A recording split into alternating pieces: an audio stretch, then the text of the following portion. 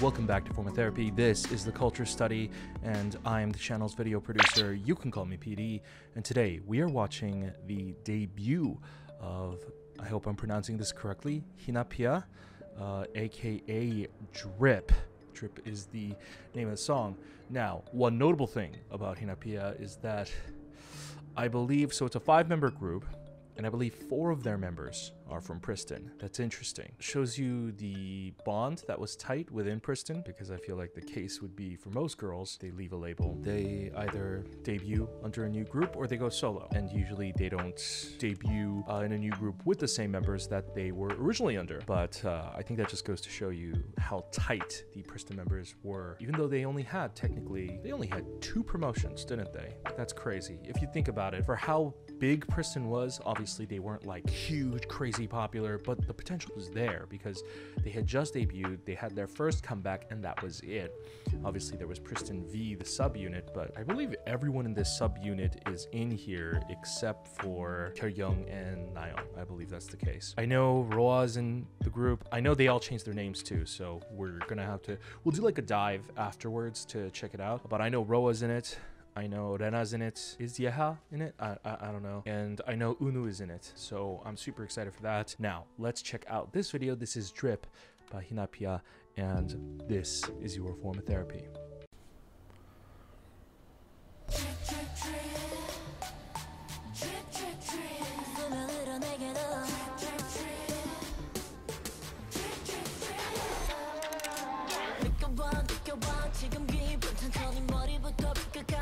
There's Rena.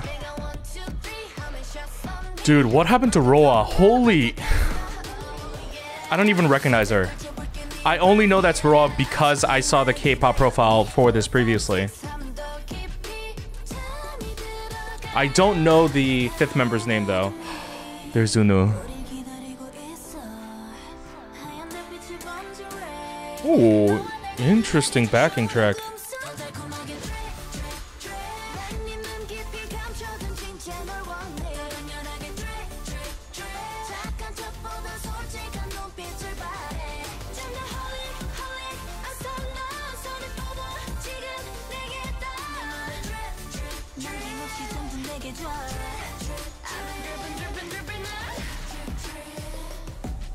Ooh.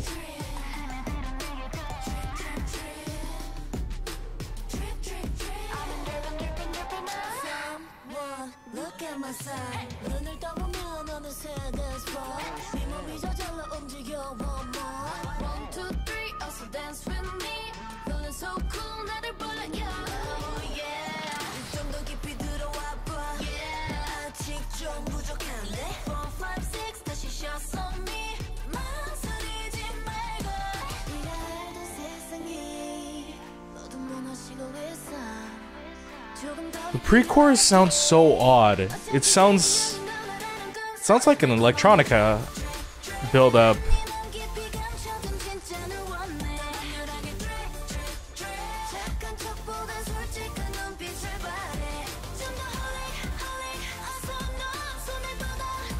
Oh wow, this song style is fascinating.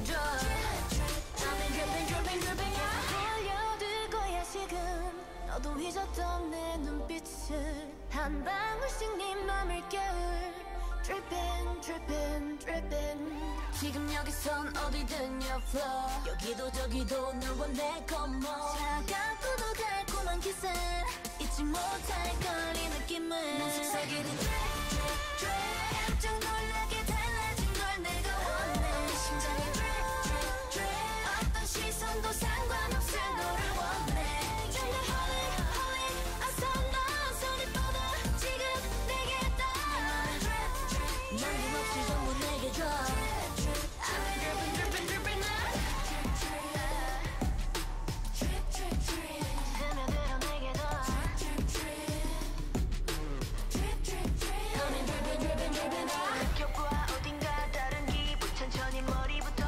Oh my god.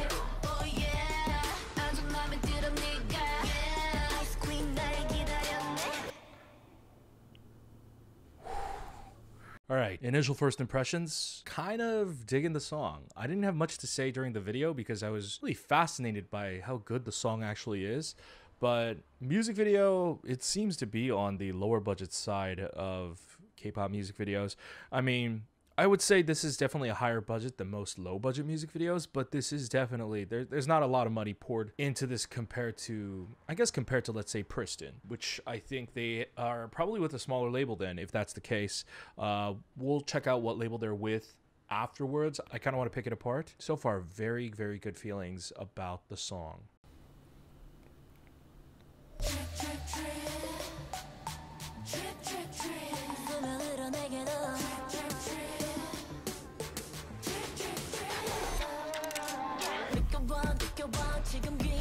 So this is probably one of my favorite scenes. Then as like security camera scenes with like the walls, the red and black actually looks really good together.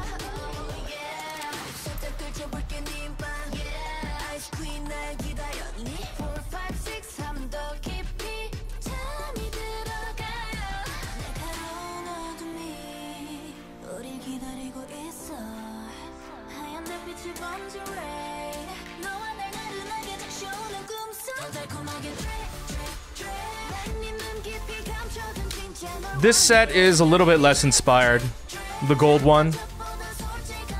They're using they're using a white backdrop um, set background, but it still feels small. That uh, that shot was actually really good. The close up um, angled shot. This is actually edited really well. That's a really good plus about this music video. One thing I will say that I don't like about the video is that the color scheme is a little bit all over the place. You've got gold, blue, purple, you've got the neon green, neon pink, then you've got this like very soft white black palette. I kind of wish that they had uh, a little bit of a stronger direction with the color palette in this video. Yeah, they're repeating a lot of sets and they're kind of like shooting within like the void look. This is probably their most like elaborate set and I really like this one. The one with like all of this tapestry. The close-up scenes are really well shot. They're really well lit.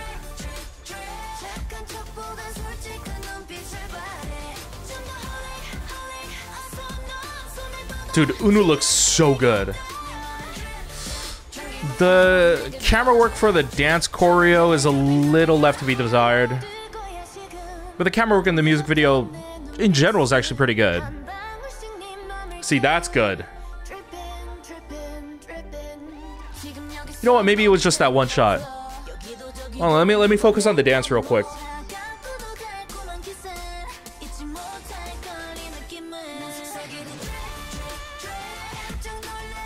Yeah. The camera work for the dancing is a little bit 50-50. It's a little safe. I kind of wish that it was a little bit more... It was as aggressive as this song is.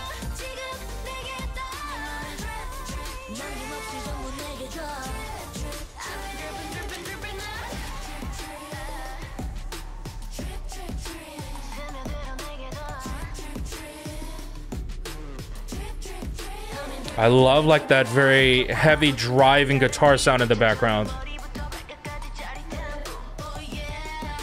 I also wish there was a little bit more coordination in the fashion too. Hmm. I like it, but I don't know, I think stylistically it doesn't all match up. I don't know how long my camera was out of focus. Uh, it has auto face detection, and for some reason, I guess it thought that plant behind me was my face.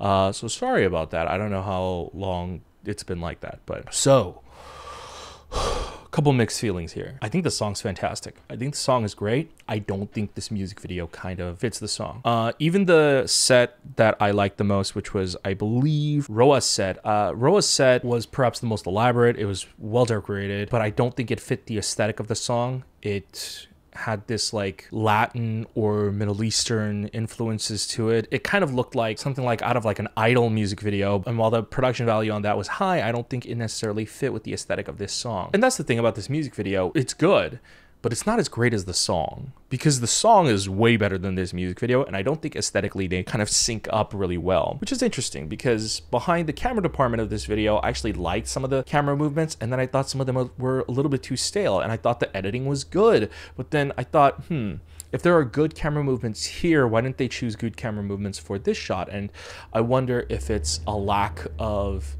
good camera work, like if, if they just didn't have enough interesting shots, or if it was a mistake in the editing department and they chose the wrong shots. Uh, I mean, ultimately, that all falls on the director because even though there is an editor, it's the director that is picking the shots. I would say music video is like a six or seven out of 10 unfortunately. Uh, I have to be brutally honest. Uh, I am a huge fan of Pristin. I really liked Pristin. They had so much potential when they debuted. Uh, I don't know if you guys have been with me since Pristin's debut. I was in love with their debut song. Wii was amazing, and Pristin V's Get It is still one of the best favorite K-pop songs of all time for me. And I like that they kind of carried over the Pristin V concept over into Hinapia as well. And by the way, that's probably the last time I'm going to mention Pristin just because I want to stop drawing comparisons. But obviously when you have the group that is 90% from Pristin, how can you not, right? This is going to be sort of my last comparison. Uh, Pristin V was the more aesthetic girl crush concept. And I like that they carried that over here into Hinapia. I think that style worked. In fact, one of my only criticisms was I wish they had brought Yeha into this and now she's in this and I think it works for them so much. I think they pull off the girl crush concept really well. It's very mature. And what I like about this is that it's a little bit slick. You know, there are girl crush concepts. Let let's say Bandit's dumb, but that one's loud. There's a lot of flashy flair to it, and a lot of girl crush concepts are about being strong and sort of in your face, right? But this one is a little bit smoother, and I appreciate the sort of coolness of it. And I think that's kind of the thing about this music video that I think was a little bit lacking in that department. I think if they had gone for a little bit more of a dramatic mood board, pull off some killer looks, a little bit more of just like dramatic lighting as well. Um, I think the lighting here was kind of all over the place. Um, I think honestly, Pristin V's Get It music video had that exact kind of dramatic lighting that would have fit this really well. Um, so music video wise it's it's left to be desired. I really hope that it does improve in the future but the song i think it's a goddamn 9 out of 10 i definitely have to listen to it a lot more but it's a strong debut song. Thank you guys for supporting our videos by watching them. If you guys would like to support them a little bit more remember you can pick up our merch. Link is in the description down below. Also if you want early access to videos if you want access to other types of content like variety show reactions uh live stage reactions uh we do that stuff on patreon. So go ahead and check that out at patreon.com slash formoftherapy. For as little as $2 a month, you get early access to videos and other exclusive reactions at different stages. Uh, however, supporting us monetarily is completely optional. If you would like to support us for free, why don't you go ahead and uh, hit the like button down below. It helps us out a lot with YouTube's algorithm. Uh, leave a comment as well, that helps too. Uh, go ahead and click subscribe, be notified when we upload a new video. I would greatly appreciate it if you joined our groupie family. Uh, also, if you want to check out more of our reactions, go ahead and check out this playlist that I have compiled for you guys over here.